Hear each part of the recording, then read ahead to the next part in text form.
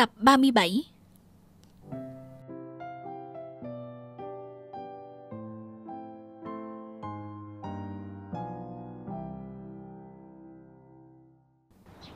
Nếu như anh thực sự muốn ở cùng với cố tiểu ý, Thì anh cần phải hòa nhập với cuộc sống như vậy.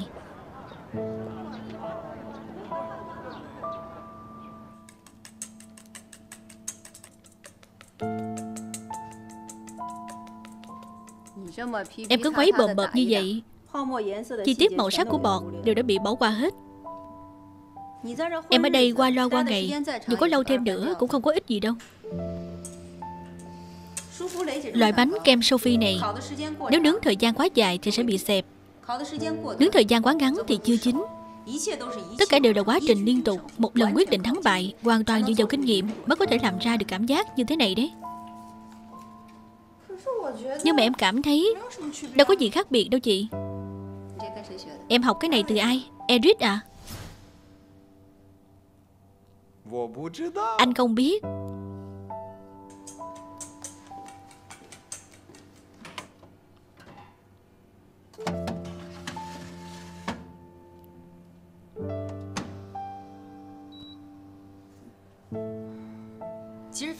Thực ra vô cùng đơn giản. Chính là để Eric lấy thân phận là chàng rể Để đi gặp cửu lão tổ quan trọng này của chị. Cho anh ấy tích cực tham gia sinh hoạt trong gia đình của chị Các thành viên khác trong gia đình chị Cũng không cần cố ý làm khó anh ta. Chỉ cần như lần trước kia là được. Em tin rằng để anh ta trải qua những thứ này Thì sẽ hiểu được tại sao lại biết chị khó lui. Nhưng mà chị làm như vậy Tác hại duy nhất là chị không còn đường lui nữa. Việc chị phải làm là Ở bên cạnh quan sát tỉ mỉ anh ta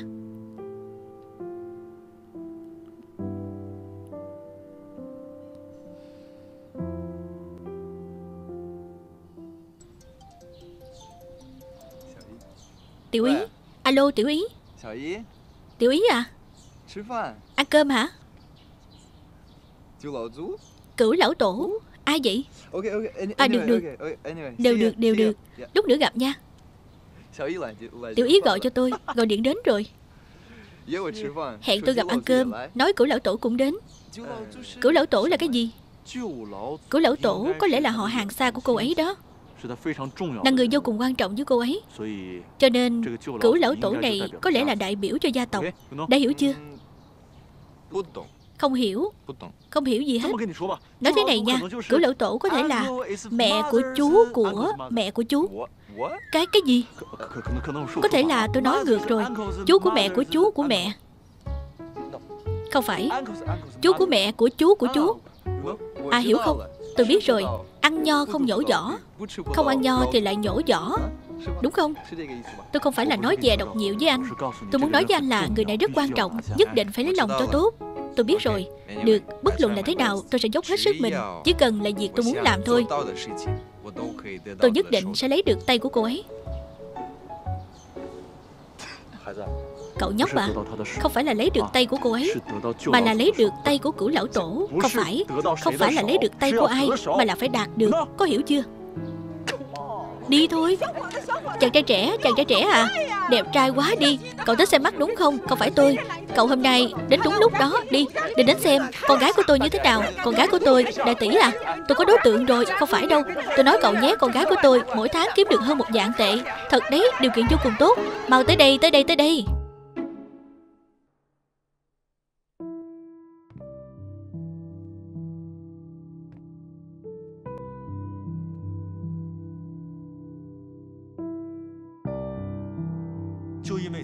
Chính là bởi vì từng bị người nhà phản đối. Nên đã chia tay với người mình yêu thương nhất. Nhưng sự việc này đã qua bao nhiêu năm rồi? Bây giờ hối hận cũng không kịp nữa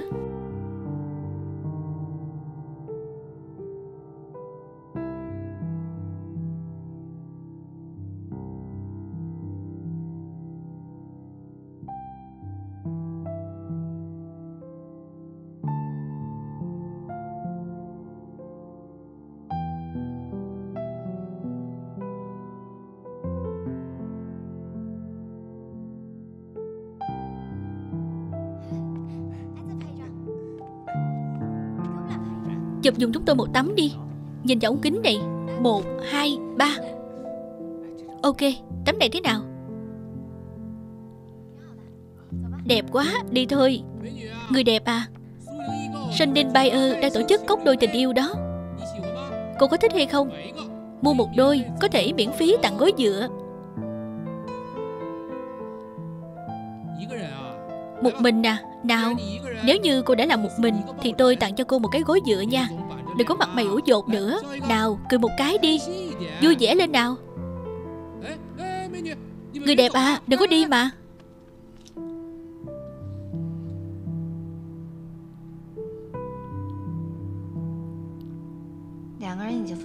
Hai người đã chia tay rất lâu rồi Nhưng mà trong lòng vẫn rất quan tâm đối phương Vẫn còn dùng cốc đôi tình như ngày xưa。Chỉ nói hai người họ có phải là vẫn còn yêu đối phương không？Chuyện này thì làm gì có đạo lý nào để nói chứ？Bước một Xóa bỏ nghi ngờ。Bước thứ hai Có lẽ là nối lại tình xưa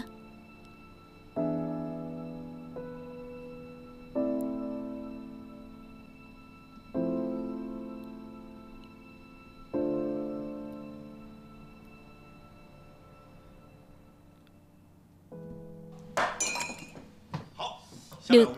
Tiếp sau đây, chúng ta sẽ tiến hành huấn luyện. Bây giờ tôi đã làm xong thẻ rồi, Vì để công bằng cho mọi người, Cho nên sẽ do tôi phát hành. Đây là của anh, Của Diệp Tử đây, Còn của tôi. Hai tấm này là để cho đoạn đoạn và châu mạc. Thân phận gì nào? Cửu lão tổ. Băng dính, Mắt kiểu gì thế? Anh đây thế nào là miếng thịt tươi đầu tám? Đừng đùa nữa, Cậu không tin thì có thể xem chứng minh của tôi đầu tám. Em nói rồi. Bây giờ số hộ khẩu còn làm giả, Cái này rất hợp với anh đó. Hợp cái gì, Diệp Tử à? Của em là gì? Để em xem à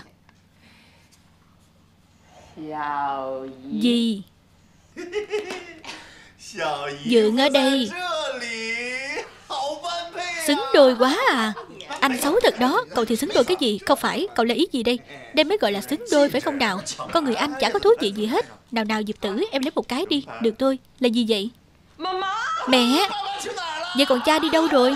Anh lại thế rồi cái này đâu trách anh được Đây là chia lại bài mà Xin lỗi Số mấy quý khách vừa gọi hiện không liên lạc được Xứng đôi quá Băng dính Vì vậy Cậu nên làm một tấm bài gọi là cháu nội Vô cùng thích hợp với thân phận đó Cầm qua đây Này này Vừa nãy đã đổi rồi mà Hai anh đừng tranh cãi nữa Châu Mạc sao hôm nay lại không đến hả Châu Mạc có khi nào lại gây chuyện với lão đại nữa hay không? Chỉ có hai người họ, ai mà biết? Cầm qua đây, Đó không phải là có gì rồi. Đưa cho anh gì đây? Cậu để cho tôi với gì không xứng. Người ta châu mạc Người ta là một cô gái trẻ.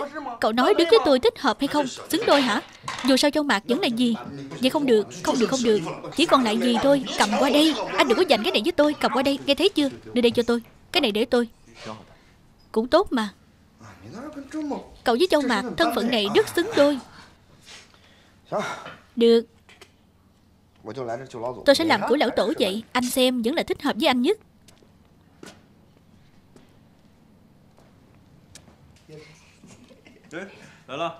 Đến rồi à, Eric. Mọi người rốt cuộc đang làm gì vậy? Chúng tôi đang đóng giả làm người nhà của cố tiểu ý Để làm diễn tập quân sự cho anh đây nè.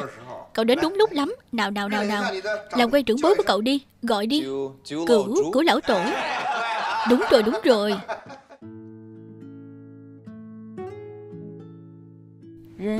Nhân sinh nếu chỉ như lần đầu gặp gỡ vốn yêu nhau sâu đậm sao nỡ bỏ lại nhau. Cố nhân nay đã thay lòng. Lại nói lòng người dễ đổi thay.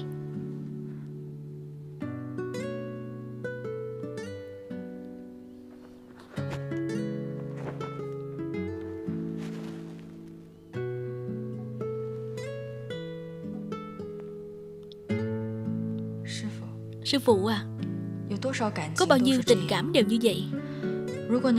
Nếu như có thể dừng lại ở khoảnh khắc lần đầu gặp gỡ Thì tốt biết bao nhiêu? Thực ra cũng không cần đi quán trách ai đã thay đổi. Mọi việc trên thế gian đều thay đổi khó lường như vậy mà. Khiến cho con người không kịp trở tay. Nói hơi nhiều rồi. Ban đêm dễ đa sầu đa cảm lắm. Thầy cũng không cần trả lời em đâu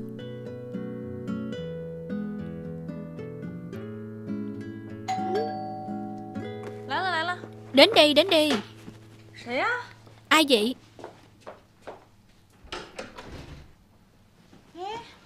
Ủa?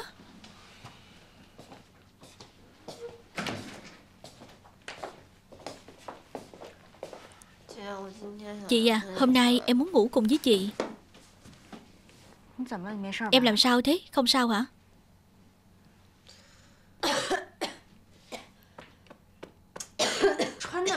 Mặt ít thế có phải là cảm cúm rồi hay không? Để chị nấu cho cô một ít nước gừng.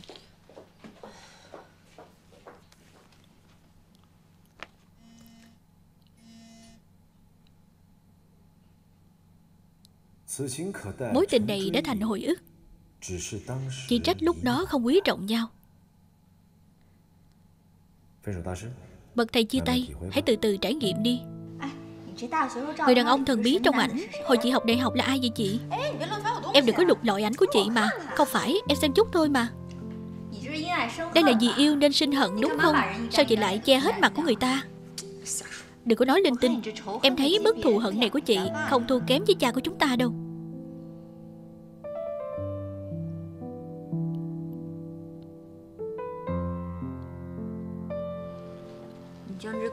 Nước coca gừng đều uống hết rồi hay sao Chị à Em có một vấn đề muốn hỏi chị. Chị có thể hận thù một người đúng không? Thật ra chị biết em muốn hỏi gì rồi. Chị với Lý Đoạn đã kết thúc rồi. Hoàn toàn kết thúc. Vậy chị còn yêu anh ấy hay không?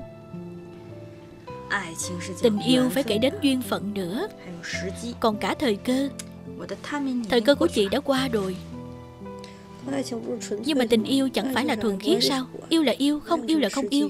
Làm gì có thời cơ duyên phận gì chứ? Đây đều là mượn cớ thôi. Cái con bé ngốc này. Nếu như anh ấy còn yêu chị thì sao?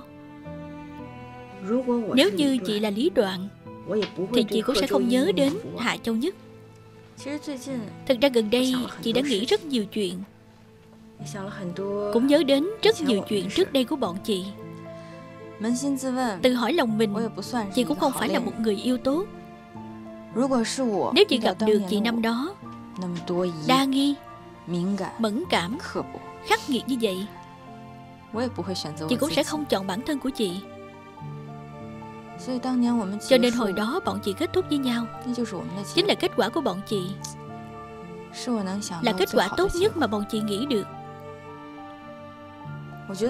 Chị thấy năng lực lớn nhất của đời người Đó là nhấc lên được Cũng hạ xuống được. Chị đã buông bỏ nỗi ám ảnh bao nhiêu năm nay? Cho nên ngược lại Thấy rất nhẹ nhõm. Chị của năm đó Đã không còn là chị nữa rồi. Người đó của năm đó Cũng đã không còn là người đó nữa. Cho nên mặt mạc à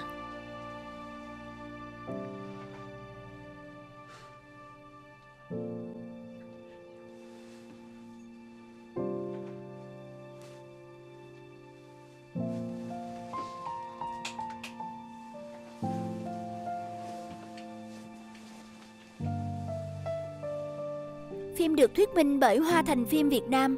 Chúc các bạn xem phim vui vẻ.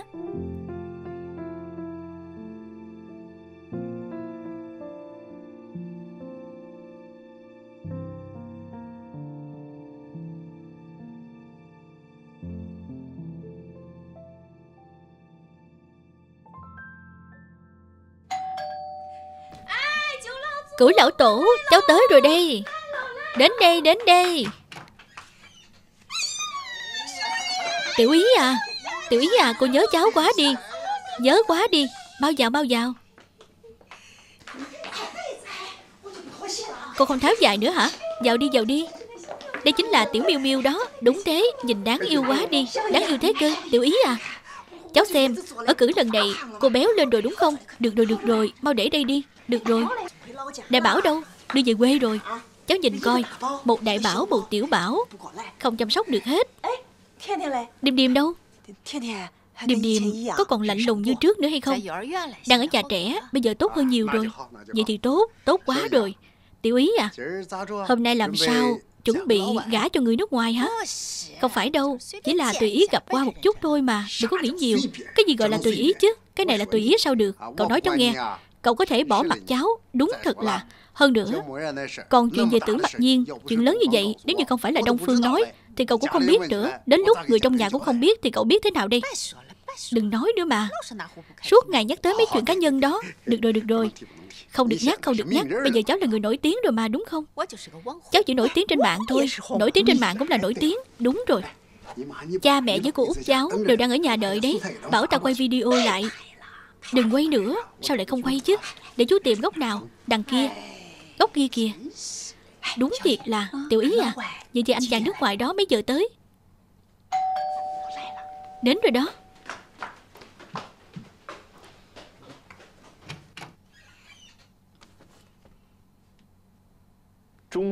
Người Trung Quốc khi đến nhà coi trọng nhất là phép lịch sự. Tình hình bây giờ của anh nhất định phải đem lễ vật đến nhà, càng nhiều càng tốt. Hơn nữa, anh phải chăm sóc và quan tâm đến mọi người. Thật là Xin chào mọi người. Trẻ quá vậy. Cháu giới thiệu với mọi người nha Eric. Xin chào. Xin chào. Hai người này là cửu lão tổ của em đó. Cửu Chú của mẹ của mẹ của chú của mẹ Và vợ của chú ấy Hiểu không? Vậy thì tại sao một người, một nữ, một nam. Đều là cửu lão tổ Cả hai đều là cửu lão tổ hết. Nói anh không hiểu đâu Đây là con của họ. Mới sinh đó. Vậy mà anh còn tưởng Trên đầu của cửu lão tổ đều là lông trắng. Hai người giữ gìn thật là tốt. Lông trắng hả? Vai vế của chúng tôi Có hiểu vai vế không? Vai vế lớn hơn cô ấy Nhưng mà tuổi tác không hơn cô ấy là mấy. Còn tên thì sao? Tôi gọi là lãnh nhất. Xin chào Tôi là Dương Tịnh. Dương Tịnh thật là quyến rũ. Lạnh rất là có phúc. Cậu nói làm tôi không biết gì hết. Chào hỏi trưởng bối thì phải dẻo miệng. cho dù là có chút không thật lòng đi nữa Thì cũng không sao đâu. Chỉ cần họ thích anh là được. Ví dụ như khi khen họ trẻ Đứa trẻ này thật dễ thương Lại khỏe mạnh. Còn khen người lớn Khí sắc cô chú thật là tốt Tràn đầy sức sống. Khen phụ nữ trẻ trung xinh đẹp Nhưng mà phải nhớ kỹ một điều Tuyệt đối không được gọi thẳng tên Phải gọi theo vai vế Tôi quên mất. Không nên gọi tên của mọi người Hai vị cửu lão tổ. Xin được chiếu cố nhiều. Xin được chiếu cố nhiều ạ. À. Đúng là người lễ phép mà. Mà ngồi xuống đi ngồi xuống. Đúng rồi tiểu ý. Ngồi đó làm gì? Mau đi ra ngoài mua chút thức ăn cho mọi người đi. Nhanh lên nhanh lên. Mau lên mau lên mau đi đi. Ta nói cháu Mua cá mua thịt mua rau. Mau lên đi đi. Mau mau. Anh không sao Không sao đâu. Em đi đi. Cậu ta nói cậu ta không sao rồi. Cháu đi đi. Mau đi đi. Đi nhanh lên Con ngủ rồi Đem vào trong phòng đi. Hai người nói chuyện nha. Tôi đem thằng bé vô phòng trước. Chào chú. Tôi thấy kiểu tóc này của chú Giống như là Tom Cruise vậy đó. Tôi giống ai? Tom Cruise. Tom Cruise. Nhiệm vụ bất khả thi tôi xem rồi Chính là nhân vật leo trên tháp Burkila Giống Tom Cruise. Cậu cũng biết tầng bốc phết đấy Kiểu tóc này của tôi Ở dưới lậu mất 50 tệ để cắt. Lúc vừa cắt xong tôi cũng rất là tức giận. Thấy có chút không được men. Không được men sao? Đâu có rất là cool đó. Cool nữa. Anh ta cool. Cậu xem xem Trông như thằng ngốc vậy đó. Ngốc nặng luôn đó. Em làm cái gì vậy? Người ta nói anh cool chính là cool. Tôi thấy tóc của chú xoăn xoăn thêm một chút nữa. Thì rất là đẹp trai. Thật sao? Thật mà. Vẫn là cậu có mắt nhìn Cậu là người Mỹ sao? Cha mẹ của cậu ở đâu? Trong lần đầu gặp mặt Vấn đề mà người nhà gái hỏi Về cơ bản đều gần giống như nhau Cho nên cậu phải chuẩn bị trước. Đây gọi là lo trước tính sau. Cha của cậu bao nhiêu tuổi? Mẹ cậu bao nhiêu tuổi? Sức khỏe vẫn tốt chứ? Bình thường thì làm gì? Cậu bình thường thích làm gì? Cậu đeo giày cỡ bao nhiêu cậu bao nhiêu mét? Những vấn đề đều không lễ phép, Nhưng mà vấn đề này nhất định sẽ hỏi, Cho nên anh nhất định phải trả lời. Tôi thích là cố tiểu ý. Người lạ, sao lại hỏi những vấn đề này? Họ không phải là người lạ. Họ đều là những người thân trong tương lai của anh. Nên hãy nói rõ cho họ tình hình cá nhân của anh. Đó cũng là một loại tình yêu Chân thành đối với tiểu ý Và cũng là một loại lễ phép. Nếu như anh hy vọng mọi người Sau này có thể tiếp nhận và chúc phúc anh, Thì anh nhất định phải nhập gia tùy tục. Nhà của cậu ở đâu? Tôi đến từ công quốc xứ Wales, nằm ở cạnh đảo Alexei. Chỗ đó của chúng tôi rất tươi đẹp, rất nổi tiếng và rất lợi hại. Rất nhiều người nói đó chính là thiên đường tình nhân, mọi người biết không? Chính là nước Anh đó, không phải nước Anh. Thật ra người nước tôi không nói bản thân là người Anh. Tôi biết cậu nói là ý gì rồi. Công quốc xứ Wales thuộc nước Anh đúng hay không? Không phải đâu. Sao lại không đúng? Chính là nước Anh, là công quốc xứ Wales. Chính là nước Anh, cậu đừng có cãi tôi, còn cố chấp nữa chứ. Được rồi, được rồi, anh đừng nói nữa. Cha mẹ của cậu làm nghề gì vậy? Cha tôi là kỹ sư, mẹ tôi ở nhà thôi Còn có một chị gái và một anh trai. Bọn họ đều đi du lịch hết rồi. Sau đó cha mẹ của tôi bây giờ đều nghỉ hưu Sống ở Mendai Bridge House. House? House chính là khu đô thị ngoại ô đó. Vậy xem ra điều kiện cũng rất ổn nha. Đúng thế. Vậy sau này khi sinh con Cũng ở trong khu đô thị này sao? Để em hỏi cho Để em hỏi. Cậu nè. Cậu e gì nhỉ? Ai gì gì đi? Ai gì gì? Tôi hỏi cậu nha. Cha mẹ của cậu có nói với cậu rằng Sinh mấy đứa hay không? Nói tôi Chúng tôi đều thích trẻ con hết. Càng nhiều càng tốt. Vậy tôi hỏi cậu nha. Sau khi sinh con rồi Cha mẹ của cậu có trông nơm, Chăm sóc trong khi ở cử hay không? Chúng tôi không có ở cử. Sau khi sinh thì lại sống bình thường với nhau. Kiên quyết không được. Tố chất cơ thể của người phụ nữ châu Á chúng tôi Với tố chất cơ thể phụ nữ phương Tây các cậu Là hoàn toàn không giống nhau. Chỗ chúng tôi phải ở cử. Nếu không ở cử Thì cơ thể sẽ không chịu được đâu. Cậu mà nói như vậy Thì chẳng phải là hại chết tiểu ý nhà chúng tôi Tôi nói cho cậu biết Như vậy tuyệt đối không được Cha mẹ của cậu phải đến đây Chăm sóc khi tiểu ý của chúng tôi ở cử Có hiểu không Đương nhiên rồi, bất luận chúng tôi dự đoán trước giúp cho cậu thì cậu vẫn sẽ gặp phải tình huống đặc biệt. Nếu như gặp phải vấn đề khó mà có thể trả lời, tôi dạy cho cậu ba từ thần chú. Nghe không hiểu, không hiểu lắm, không rõ nữa. Tôi không hiểu. Cái tên nhóc này. Não, não có khi nào có vấn đề không? Rõ ràng là có thể nói ra rất nhiều chữ Trung Quốc. Nhưng mà em vừa nói đến vấn đề này Thì cậu ta liền ngốc. Vấn đề gì? Là không hỏi đúng chỗ thôi. Nên cậu ta giả vờ. Để anh hỏi cho. Nè tôi hỏi cậu nha. Cậu rốt cuộc thích tiểu ý ở điểm nào hả? Chỗ nào cũng thích hết. Đúng là biết tân bốc. Con bé lớn hơn cậu nhiều như vậy Còn từng ly hôn lại có con riêng nữa Cậu có vẫn thích hay không? Bọn họ nhất định sẽ hỏi Tại sao lại thích cố tiểu ý. Câu này nhất định phải nói cho tốt.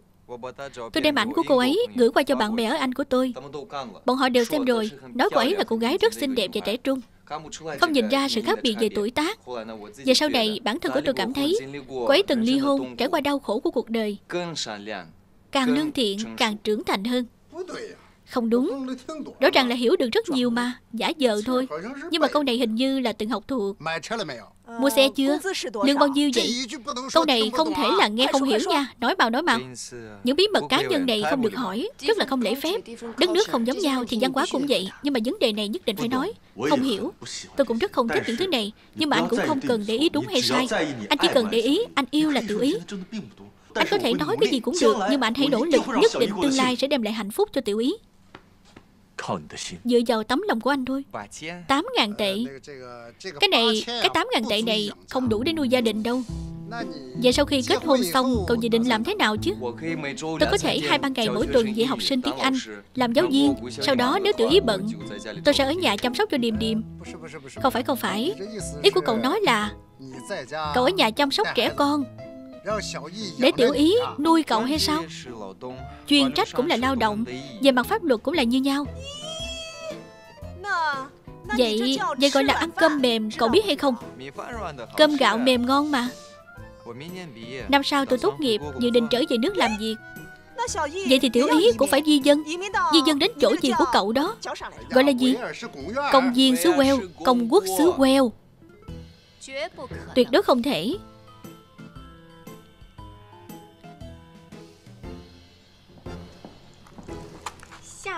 Thời gian uống trà buổi chiều đây. Hạ Tổng à Chị không sao chứ? Tôi không sao Tôi rất khỏe là khác. Có phải là tôi đã làm gì sai không? Vì nụ cười này của chị làm cho tôi có chút rét run đó. Không có không có. Tôi chỉ là cảm thấy anh làm việc Nhất định là khác rồi. Có sếp tận tình như này cậu không quen hay sao Tôi nghe nói có một kiểu sếp Lúc cho nhân viên nghỉ việc Đều tự tay pha cho họ một cốc cà phê Để giảm trừ cảm giác tội lỗi. Hà Tổng à Chị không phải kiểu người này chứ. Sao tôi lại có thể là loại người này? Tôi Nào thầy Dư? Tôi muốn nghe cái này. Ý của chị nói Đem chỗ bài hát này tải vào điện thoại của chị sao? Đã là thế kỷ 21 rồi Mà đến cái này chị cũng không biết. Không phải chứ Tôi không có ý này đâu. Tôi là nói. Anh đem chỗ bài hát này Hát cho tôi nghe. Tại sao vậy? Anh nhìn bên bậc thầy tái hợp xem. Lúc người ta làm việc Luôn rất nhiều thiết kế, rất lãng mạn còn chúng ta thì sao? Thật ra gần đây tôi luôn nghĩ Chúng ta vẫn luôn giúp người khác chia tay ly hôn. Vậy những gì chúng ta nỗ lực Không phải là đem nỗi buồn chuyển thành nắm áp, Đem đau khổ chuyển thành tha thứ hay sao? Vậy tại sao chúng ta lại không có chút cảm giác hình thức nào Đây là chia tay ly hôn mà? Với tái hợp kết hôn đâu có giống nhau. Đã chia tay rồi Thì còn làm gì có cảm giác hình thức? Thế tại sao có cảm giác hình thức? Tôi thấy tư duy của chúng ta cần phải mở rộng hơn. Ví dụ như ly hôn. Chúng ta hoàn toàn có thể làm theo trình tự kết hôn, Cho nó làm ngược lại một chút. Làm ngược lại hả? Đầu tiên, chúng ta kêu toàn bộ bạn bè, Người thân tới, Rồi trả lại tiền chúc mừng cho họ, Sau đó xe quay phim đi theo sau để quay. Đến nhà vợ thì đổ pháo đàng hoàng. Cuối cùng, bế con dâu nhà người ta, trả lại cho người ta Đây mới gọi là trước sau vẹn toàn đó. Hà Tổng nè, Thì quyết định như vậy, Chúng ta có thể bị quýnh nát cái đích đó. Anh còn tưởng thật hả? Nhưng mà nói nghiêm chỉnh nha. Anh không thấy lúc chia tay có chút âm nhạc. Thì không khí sẽ rất tốt hay sao? Cũng đúng. Không phải có một câu như thế này sao? Một bài hát lúc vui thì nghe là âm nhạc. Lúc buồn thì nghe là ca từ. Vậy cho nên Vừa hay cậu lại có tài nghệ. Chúng ta hãy sử dụng đi một, ba, năm. Anh hát cho tôi những bài hát nhanh bên trái. Hai, bốn thì hát những bài hát chậm bên đây. Chế độ mới chấp hành ngay lập tức. Tôi phản đối. Tôi lại không phải là bán nghệ. Phí tăng ca gấp 3 lần ok?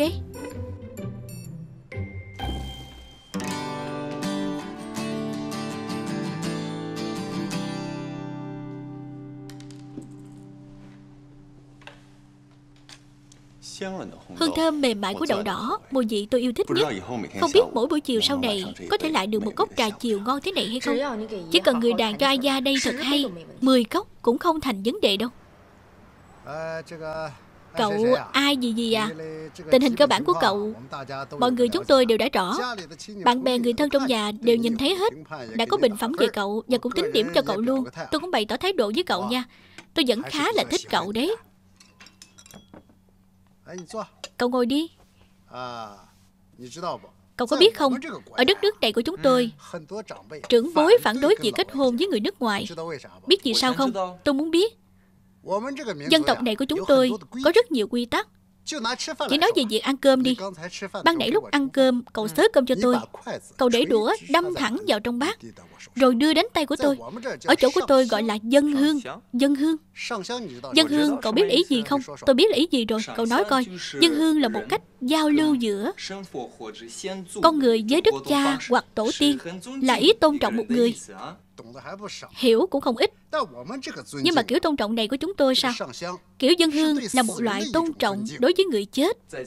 Ở trong nhà tôi biết chú là trưởng bối quan trọng nhất.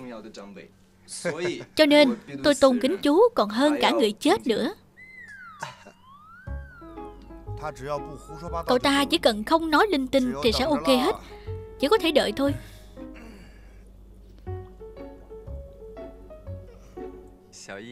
Tiểu ý à Nói chuyện gì vậy? Sao mà vui quá vậy? Có nói cái gì đâu. Cửu lão tổ nói thích anh. Ai gì gì à? Tôi là nói. Cậu là một thanh niên vô cùng ưu tú. Cái này không sai, tôi rất ưu tú mà. Thật không biết khiêm tốn. Nhưng mà, tiểu ý, không cần một người như cậu đâu. Sao lại không cần? Tại sao lại không cần chứ? Bởi vì à Người nước ngoài các cậu coi trọng cá tính tự do. còn chúng tôi sinh sống trong một hoàn cảnh gia đình vô cùng nồng nhiệt. Gia đình mãi mãi là vị trí số một đặc biệt là tiểu ý và điềm điềm bây giờ trong hoàn cảnh đặc biệt này càng cần một người thích hợp với họ hơn biết rõ gốc rễ có thể giao lưu lẫn nhau có hiểu không của lão tổ chúng ta có thể nói chuyện khác được hay không? Được nói chuyện khác đi. vậy ví dụ nói tiểu ý có một thanh mai trúc mã. Thanh mai trúc mã, cậu có hiểu hay không? Thanh mai trúc mã tôi biết là ý gì rồi. Giáo dân Trung Quốc đã dạy tôi Cậu nói xem là ý gì chứ Thanh mai trúc mã, luận anh hùng mà. Chính là hai người đàn ông đánh nhau. Là ý này đúng không? Ai dạy cậu thế? Là giáo viên nói với tôi thế mà Văn hóa này của cậu thâm thí quá rồi. Ăn nói linh tinh quá đi. Ai đến nữa vậy? Để tôi mở cửa cho mọi người cứ nói chuyện đi, Để tôi xem là ai. Đến đây đến đây. Trời đất ơi, Đông Phương đến rồi. Nào nào, mời vào mời vào. Nào nào nào. Tôi biết rồi, tôi biết rồi. Uống nước uống nước đi. Chào lỗ tổ. Tiểu ý à Em cũng ở đây nữa hay sao? Chào anh. Chào cậu. Ai gì gì? Đây chính là thanh mai trúc mã đó. Cửu lão tổ, Mọi người như vậy là ý gì chứ? Tiểu ý à Sự sắp đặt này chỉ là trùng hợp mà thôi. Hoàn toàn là ý trời đó. Tiểu ý à Cô nói với cháu nha. Là như vậy, Cửu lão tổ của cháu Vẫn luôn muốn hẹn Đông Phương Tổng này. Để bàn bạc Bàn bạc chuyện nhập hàng kia mà. Chuyện nhập hàng Nhưng mà Đông Phương Tổng này Lại không có thời gian. Hôm nay hai cô cậu tới nhà cháu. Anh ta nói anh ta cũng có thời gian Cho nên đến luôn Cháu biết rồi. Là nói nhập hàng từ anh ấy, Đúng không? Rồi chiếu cố giảm giá đúng hay không? Phải rồi phải rồi. Nhân tiện thôi mà. Tiểu ý à Về chuyện làm ăn đó, Thì còn không phải là chỉ một câu nói của em thôi sao? Cửu lão tổ, Hôm nay đến nhà của cháu rồi. Bàn chuyện tình cảm của cháu trước đi. Bàn chuyện làm ăn sau được không? Cậu không có ý gì chứ? Cậu có ý gì đâu? Không có ý kiến. Đông Phương à còn anh Anh luôn luôn nghe theo em mà.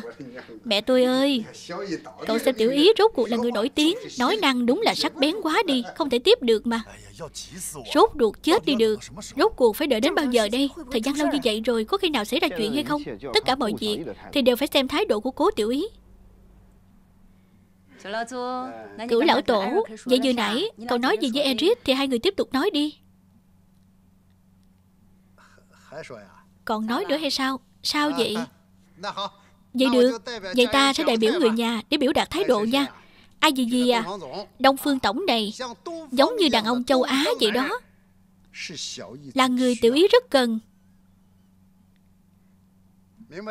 Rõ ràng chưa nào? Có hiểu không? Không hiểu. Cứ đến vấn đề mấu chốt Lại không hiểu Vậy tiểu ý cháu xem mà Lời nói tốt xấu nghe không hiểu Và sau này còn hiểu được cái gì Cháu nói một chút ý kiến cho cậu ấy biết đi. Eric Xin anh hãy tin em. Bây giờ từng câu từng chữ mà em nói Đều là thật lòng hết.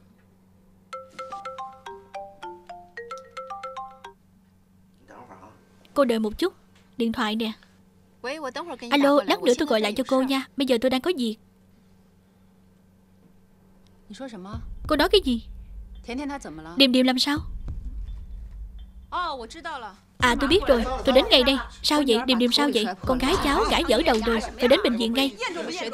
Mọi người không cần đi đâu. Một mình tôi đi. Tiểu ý à Gọi điện nha. Liên quan gì đến cậu chứ?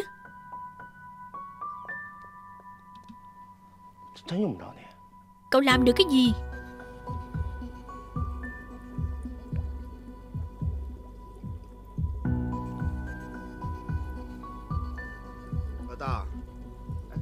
Lão đại Đoạn đoạn Đoạn đoạn à. Đoạn đoạn Lão đại. Còn ý của anh thì sao? Về buổi trưa chọn đồ chay đi. Đang nói cố tiểu ý với Eric Cậu thiệt tình. Ăn cơm gì chứ? Châu bạc. Chào buổi sáng Chào buổi sáng mọi người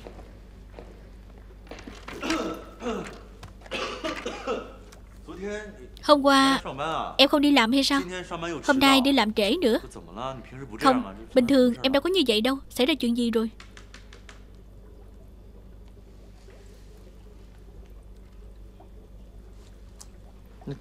Vậy chọn chút đồ chay đi.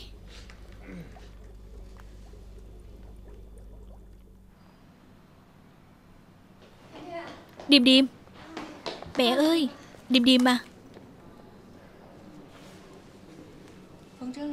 Khâu rồi đúng không? Dạ phải khâu rồi. Đã xảy ra chuyện gì chứ? Chạy bộ trong giờ nghỉ ngơi Nên bị đâm vào lan can thôi. Cũng trách tôi sơ ý quá.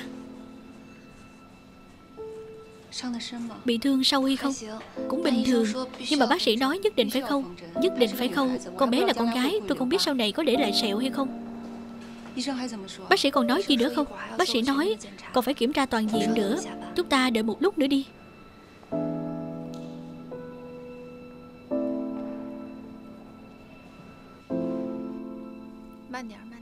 Từ từ từ từ thôi. Bảo bối à Nhìn phía trước đi bảo bối. Đúng rồi ngoan quá. Bên trái nhìn phía bên trái đi. Mẹ bên nào là bên trái? Bên này nè con. Bên trái nè. Thả lỏng Mở mắt ra. Mở mắt to ra. Nhìn về bên phải. Bên này. Tốt quá. Đứa trẻ này bình thường lúc nhìn Có phải là hay nheo mắt hay không cái này tôi cũng không chú ý cho lắm. Tôi nhớ ra rồi. Có lúc con bé rất thích nhắm một mắt nhìn đồ vật. Mắt trái hay mắt phải tôi cũng không nhớ nữa. Có vấn đề gì hay sao? Thông qua kiểm tra vừa nãy Bước đầu phát hiện ra con của chị có triệu chứng mắt lười. Mắt lười sao Nguyên nhân tạo thành mắt lười có rất nhiều, có thể là do yếu tố bẩm sinh, có thể là do không tiếp nhận những kích thích thị giác. Những thứ này ảnh hưởng đối với sự phát triển thị giác của trẻ. Vậy con bé có thể chữa khỏi không? Có thể dùng dụng cụ điều trị mắt để tiến hành uống nắng, quan sát một khoảng thời gian. Bây giờ là thời kỳ chữa trị mắt lười tốt nhất. Nếu như bỏ qua sau 7 tuổi mới chữa trị, thì hiệu quả sẽ rất chậm đó.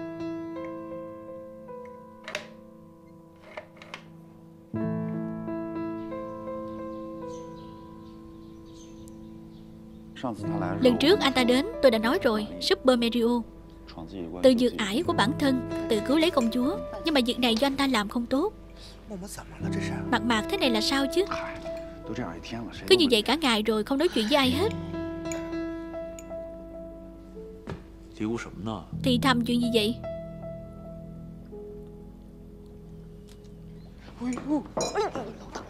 Lão đại, lão đại à Tôi khuyên anh hôm nay đừng có trêu cô ấy. Sao vậy?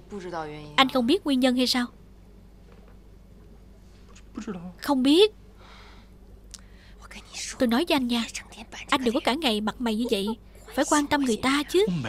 Tôi có mặt mày câu có đâu. Còn không mặt mày câu có tôi không có mà. Hiểu rồi hay sao?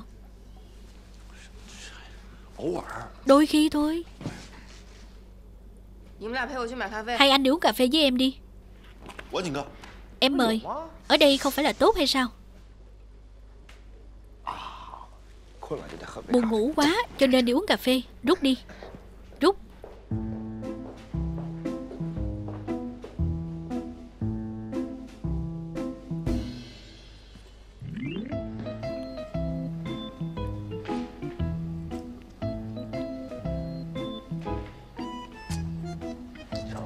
Nhìn bụi này, Mấy ngày rồi không lâu. Vậy không tốt, Giấy ăn cũng hết rồi. Có phải không, Châu Mạc? Châu Mạc à? Đang nói với em đó. Anh đang nói chuyện với em. Sao vậy? Có chuyện gì sao, lãnh đạo? Lãnh đạo? Sao đột nhiên lại gọi anh là lãnh đạo vậy? Không phải, anh giống dĩ không phải là lãnh đạo hay sao? Vậy nên gọi anh là gì? Lý Tổng hả?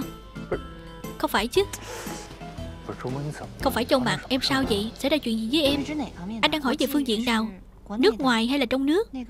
Là tạp chí thời trang hay là tin tức về các minh tinh? Đừng nói lạc đề nữa. Anh hỏi về em thôi. Anh đang quan tâm em hay sao lãnh đạo? Vậy thì để em báo cáo với anh nha. Gần đây em sống rất là tốt, Ngủ dậy sớm, Còn giặt chăn mền, Rèn luyện sức khỏe nữa. Em gần đây xem không ít sách, Sau đó nhận được rất nhiều dẫn dắt, Cũng vẫn luôn từ kiểm điểm ở văn phòng. Trong khoảng thời gian này ở văn phòng, Những sơ suất không chính chắn của bản thân em. Nói chung sau này em sẽ sửa lại được chưa?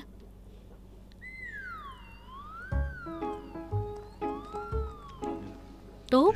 Vậy thì như vậy đi. Thái độ vô cùng tốt. Không phải Anh nói là cái khác. Em, anh, em đối với anh. Em đối với lãnh đạo tuyệt đối tôn trọng. Sau đó phục tùng, có tính chọn lọc Rồi thảo luận nghiệp vụ Bằng lý trí, tuyệt đối là không làm phiền. Lãnh đạo, có chuyện gì nữa hay không? Không còn không còn. Không còn chuyện gì hết. Giống dĩ là không có chuyện gì. Thôi làm việc đi. Mau làm việc đi.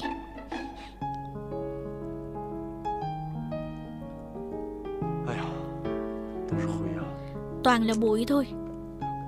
Xem xem